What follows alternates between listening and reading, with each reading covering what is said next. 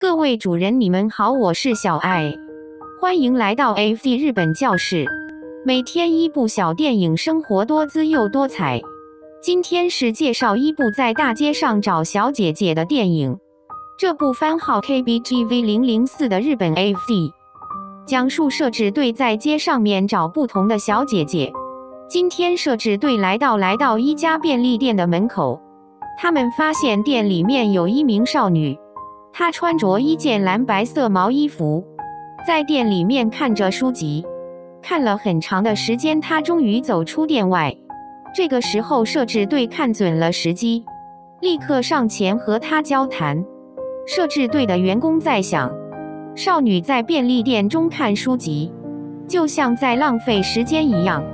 与其在店里面浪费时间，倒不如和摄制队一起。在工作室里面开心一番，在交谈的过程中，设置队当然成功，得到了这名少女的信任。只有设置队和她一起到了工作室上，开始和她进行一点交涉。原来这名少女是单独住在家里面，在没有事做的时候，她就会独自走到便利店看书。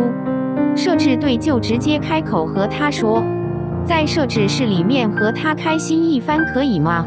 少女很快就答应和摄制队进行活动。少女打开她的上衣时候，摄制队也感到惊讶。一件普通的上衣里面，竟然收藏住美丽的内衣，再加上少女的风骚样子，立即打摄制队的所有人迷住了。原来一名寂寞了那么久的单身少女，得到了开心的一刻。简直就是完全解放一样，不知道各位主人们有没有试过这一类型的少女？不知道主人没有没有像摄制队一样的能力，随便在街上都可以找到一名少女去兜搭。在今次的电影中，不知道要开多少次。